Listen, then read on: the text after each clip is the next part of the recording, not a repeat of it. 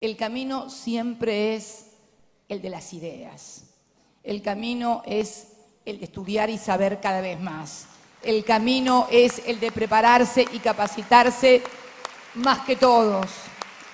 El camino es estudiar. El camino es ayudar al que está al lado, tenderle la mano al que tiene problemas.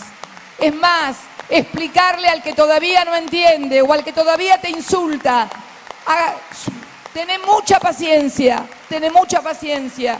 Y cuando pare de insultarte, volvé a explicarle de vuelta cómo es esta historia de la economía, cómo es esta historia de la inclusión, cómo es esta historia del poder adquisitivo de los salarios, cómo es esta historia de la educación y la salud para todos, cómo es esta historia del conectar igualdad, cómo fue la historia de las universidades públicas en el conurbano bonaerense, cómo fue la historia de la inclusión de nuestros jubilados, del PAMI cuando daba remedios gratis a nuestros jubilados, cómo es la historia de 19 vacunas gratuitas y obligatorias. Esta es la historia que tenés que contar sin enojarte, sin pelearte, con inteligencia, porque tenemos la razón y la razón más tarde o más temprano siempre gana, siempre vence. Muchas gracias.